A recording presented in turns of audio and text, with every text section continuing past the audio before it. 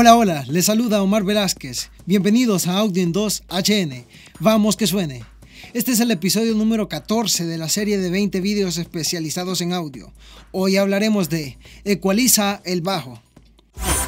El que diga que el audio es subjetivo tiene toda la razón si se refiere a que hay tantos géneros musicales, tantos gustos, muchos equipos y culturas tan diferentes. El bajo es un instrumento muy versátil y presente en casi todo género, ya sea este eléctrico o acústico. ¿Te has preguntado en la manera correcta de ecualizarlo? No lo hagas, porque no hay una manera, hay cientos y en audio no podemos hablar de la mala técnica o sonido malo, porque puede ser ese el sonido que se busca. Pero sí hay unas ciertas pautas para guiarte a encontrar ese sonido deseado nos enfocaremos principalmente en hacer grabaciones con un amplificador destinado para bajo, porque suele encerrar más elementos que una grabación de línea. ¿Qué debo tener en cuenta?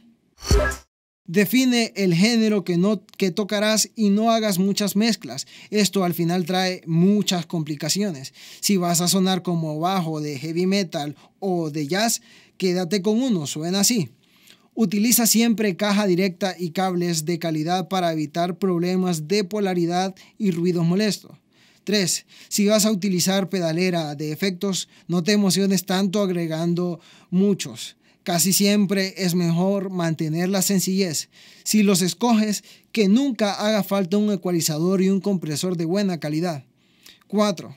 Si te lo permites, utiliza alguna app como Entrack Tuner analizada en el video 1 para ver el espectro de frecuencias reproducidas por tu instrumento y atacar así atenuando las que sobresalen y aumentando las que no se notan.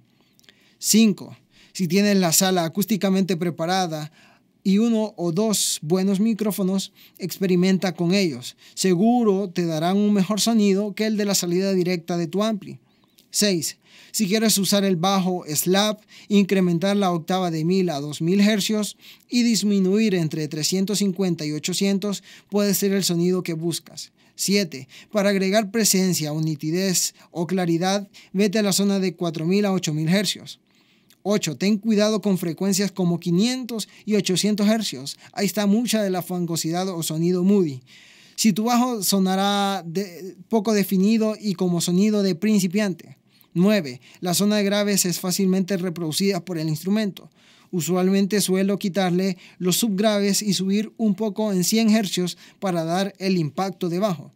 10.